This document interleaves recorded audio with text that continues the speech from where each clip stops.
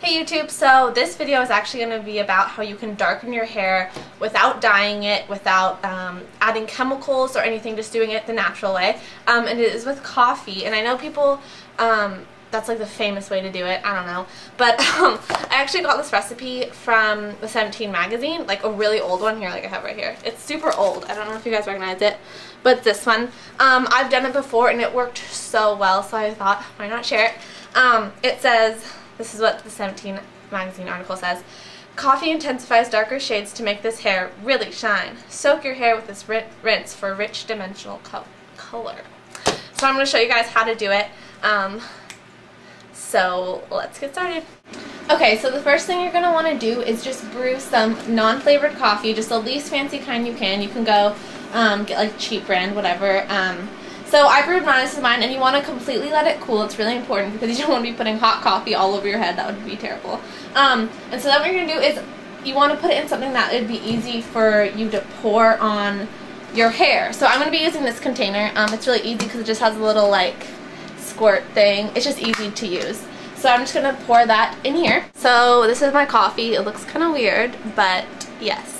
Um, the amount is really up to you. It's how much hair you have. I have really long, thick hair, so, um, and this is probably going to, it just kind of depends. If you really want to make sure your hair gets darker, why not just soak it in as much as you can, um, is what I would say.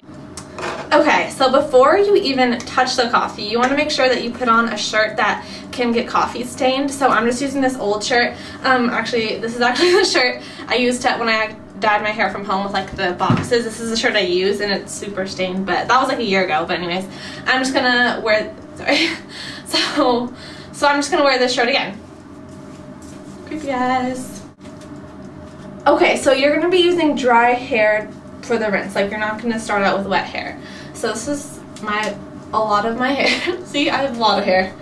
Yes, I do. Okay, so this part, so this next part can be really tricky. So the first time I did it, my mom actually helped me. You want to make sure that you find a good place to set up. So whether like you put, you know, like kind of like where you, when you get your hair washed, um, if you get a haircut or something, and you kind of like rest your head like over the sink or you can do it over your bathtub or over your shower, whatever works. Um, and then you just pour the coffee through it and you want to make sure like the drain gets all the coffee bit, all the, the coffee liquid.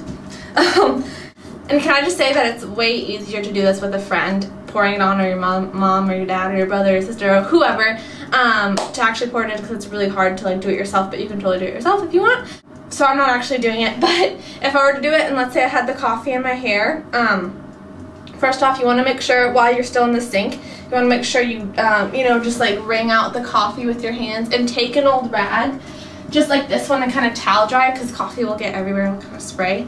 And then what you're going to do is you're going to comb through your hair.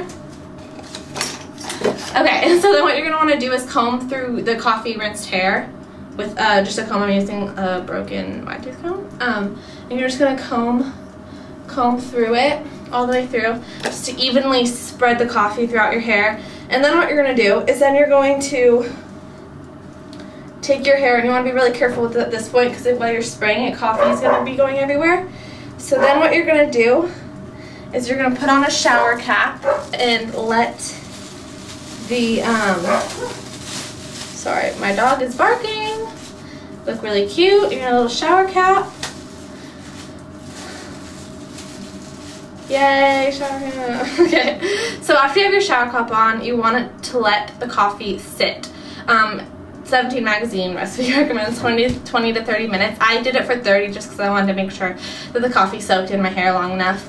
Um, so after you wait for 30 minutes, then you are going to, I'm still talking with my shower cap on, after you wait for 30 minutes, you're going to rinse it off um, in the shower. You shampoo your hair. Um, sometimes there might be little like grits from the co coffee grind still, like because from like when I did, there were coffee grinds in my hair, but they just like washed out like after the second wash, like second time I washed my hair, so it was totally fine.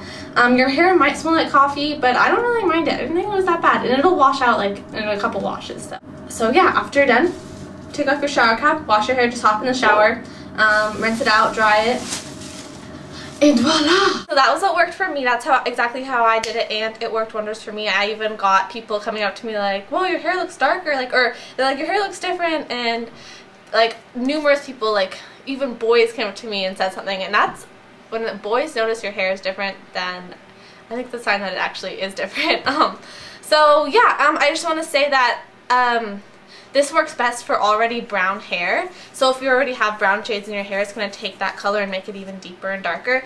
Um, I had a friend who tried to do it with her, when she, she has blonde hair and she tried to do it, and it didn't work for her. So I mean, I'm not, I don't know. I'm not saying like don't do it if you have blonde hair, but go ahead and try it. I don't know if it'll work, but let me know if it works or if it doesn't work. I would be happy to know.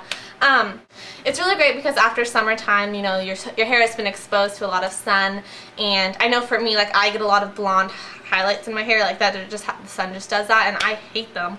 And I, I probably I don't know why I hate them. My mom gets really mad at me why I like try and get rid of them, but I hate them. So I love so this is a great time to do it um, especially now if you want your hair darker for fall or whatever.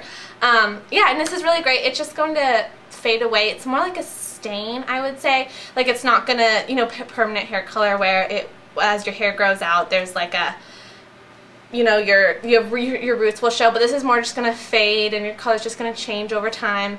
Um, so yeah, I would say this was a really good thing to do if you want to, you know, experiment with darker hair, but you don't want to go all the way and dye it, and it's just a really great idea to do. So, okay, um, please subscribe and comment and write, and if you try it, please let me know how it worked for you, or if it didn't work and I want to know about it.